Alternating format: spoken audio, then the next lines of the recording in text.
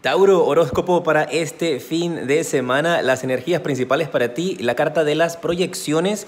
Mucho cuidado con los sentimientos o las emociones que puedas estar teniendo a tu alrededor porque parece que hay sentimientos, emociones que otras personas podrían estar manifestando o más que todo reflejando en ti como un espejo, así que atento con esos sentimientos o esas emociones. ¿eh?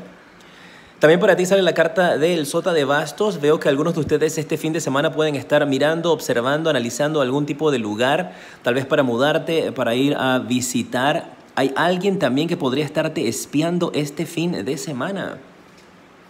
Tienes la carta del 2 de bastos y mira, me encanta cómo estas cartas se están encontrando. Parece que aquí se están espiando ambas personas en el amor. Parece que aquí tú estás interesada o interesado en alguien y alguien también está interesado en ti y muy pronto podrán encontrarse. El amor es mutuo. ¿Qué te parece? Suscríbete, te mando un fuerte abrazo y te decreto luz y progreso.